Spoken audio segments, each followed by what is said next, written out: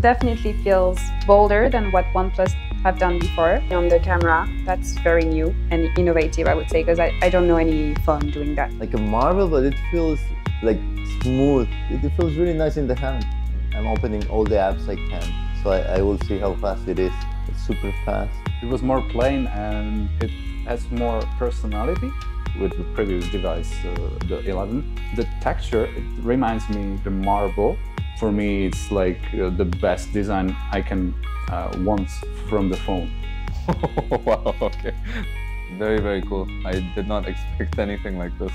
No, the, the finish is super, super soft. It's almost like silicon-like. And it's really nice to hold in the hand. No fingerprints as well coming on the on the glass. It's a really nice display, I'm gonna lie. You can tell it's very, very bright, much, much more contrast than before.